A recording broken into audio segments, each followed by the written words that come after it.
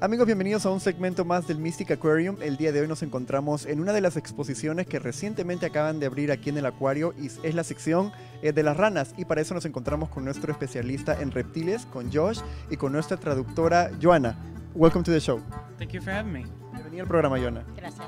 Cuénteme un poco acerca de las ranas del Mystic Aquarium.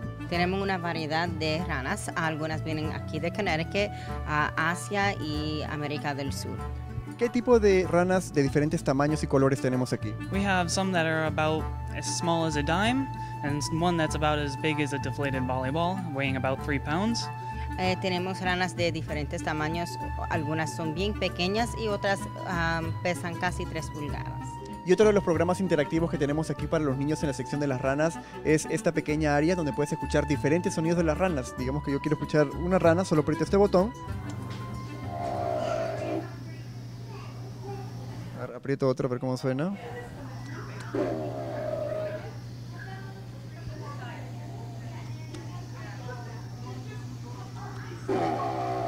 Y parece que es la misma rana en todos los botones. Este, las ranas son verdes, azules, amarillos y rojos y algunos tienen una mezcla de colores. ¿Qué representan esos colores para los predadores? And what do those colors represent? In most cases, they actually are a warning signal to predators, meaning that the frog is toxic. Casi siempre esos colores eh, lo deja saber a los depredadores que son venenosas y tóxicas. ¿Y ¿Qué programas interactivos tienen los niños eh, con las ranas?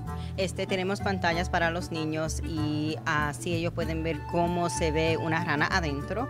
También am, diferentes pantallas le dejan saber las los diferentes especies y también hay una actividad donde los niños pueden gatear y pararse y ver el tanque desde adentro.